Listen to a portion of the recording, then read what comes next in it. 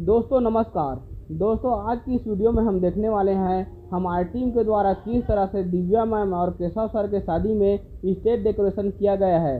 तो चलिए वीडियो को स्टार्ट करते हैं।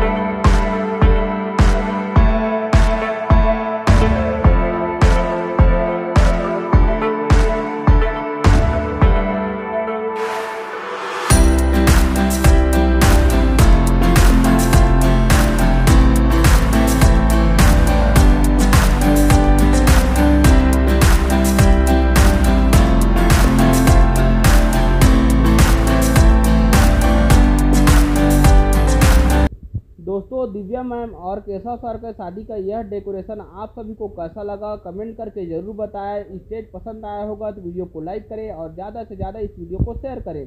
धन्यवाद।